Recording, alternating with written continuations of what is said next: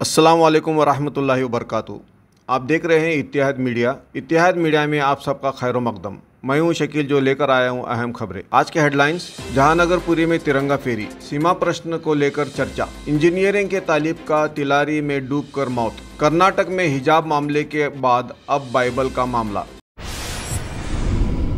बताया जा रहा है कि इतवार के रोज तनावपूर्ण जहांगीरपुरी में कल इतवार के रोज हिंदू और मुस्लिम समाज के लोगों ने मिलकर तिरंगा फेरी निकाली। इस मौके पर पुलिस का ज़बरदस्त बंदोबस्त था। कुछ ही दिनों पहले जहांगीरपुरी में जाति हिंसाचार देखे गए, लेकिन इतवार का वह दिन था जिस दिन हिंदू, मुसलमान और कई और धर्म के लोग शामिल होकर तिरंगा फेरी निकाल कर ये सबूत दिया कि हम सब एक हैं और कोई पॉलिटिकल पार्टी हमें जुदा नहीं कर सकती।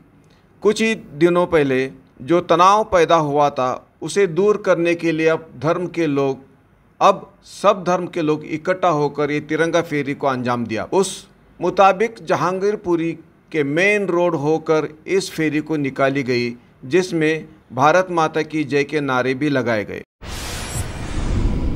महाराष्ट्र एकीकरण समिति के नेताओं के तरफ़ से सीमा प्रश्न को लेकर महाराष्ट्र के नायब वज़ीर आला से मुलाकात की। उन्होंने मांग की कि सुप्रीम कोर्ट में जो सीमा प्रश्न का मामला सालों से रुका हुआ है, उसे महाराष्ट्र सरकार जल्द से जल्द अहम कदम उठाए।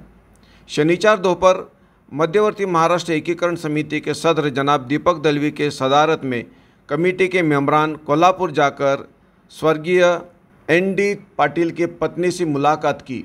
उसी वक्त राष्ट्रवादी कांग्रेस के नेता नायब वज़ीर आला अजीत पवार भी मौजूद थे। इस मौके पर समिति के मेम्बरान जनाब अजीत पवार साहब से मुलाकात कर कोर्ट में जो सीमा के केस के ताल्लुक से चर्चा की।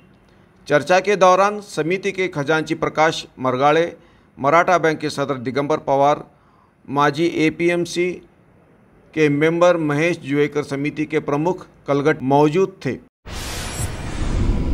नए कोविड के नियमों को लेकर वज़ीर आला जनाब बसवराज बोम्मई का बयान आया है कि आने वाले जून महीने में कोविड का चौथा दौर शुरू होगा।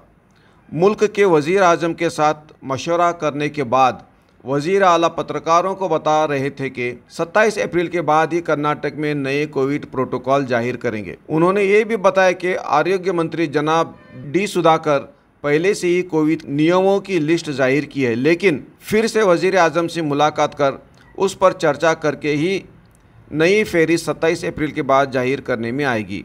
अब लोगों में एक ही फ़िक्र है कि ये नए नियमों की फहरिस्त कैसी रहेगी और कब ज़ाहिर होगी। पता चला है कि एक तालिब जो S G institute of engineering, Belgaum में पढ़ता था वो कल इतवार के रोज़ सुबह तिलारी वाटरफॉल्स में डूबकर उसका इंतकाल हुआ। हार्दिक परमार उम्र 22 जो गोवा का रहने वाला है, अपने दोस्तों के साथ बेलगाम आकर तिलारी से फॉल्स चले गए, जहाँ पर हार्दिक को पानी की गहराई का पता नहीं चला और डूब गया।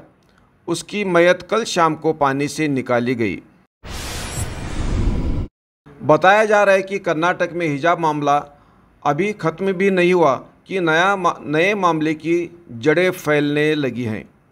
अब जो नया मामला सामने आया है वह है बाइबल का मसला। कर्नाटक में क्रिश्चियन धर्म के बाइबल को लेकर बड़ा मसला देखने को मिल रहा है। स्कूलों में बाइबल के ताल्लुक से स्कूलों में पढ़ाया और सिखाया जा रहा है ऐसा बताया जा रहा है। ऐसा इल्ज़ाम लगाया जा रहा है कि जो कि इदारों वालों ने इसे गलत बता रहे हैं। हाल ही में कर्नाटक के वज़ीर अला ने ऐलान किया था कि इदारों में भगवत गीता पढ़ाया जाएगा। लेकिन साथ ही साथ इसको बरकरार रखना या ना रखना, ये चर्चा करने के बाद ही फैसला लिया जाएगा, ऐसे सरकार ने कहा। बताया जा रहा है कि क्लेरेंस स्कूल ने स्कूल में बाइबल पढ़ाने के लिए बच्चों के वालिदों से लेखी में इजाज़त ली है। हिंदू जन जागृति के राज्य प्रवक्ता मोहन गौड़ा का कहना है कि जो बच्चे क्रिश्चियन नहीं हैं, उन्हें भी बाइबल पढ़ने के लिए ज़ोर ज़बरदस्ती की जा रही है। उन्होंने आगे ये भी कहा कि ज़बरदस्ती करना कर्नाटक एजुकेशन एक्ट के खिलाफ है। इत्यादि मीडिया देखने के लिए शुक्रिया जजाकल्ला खैर।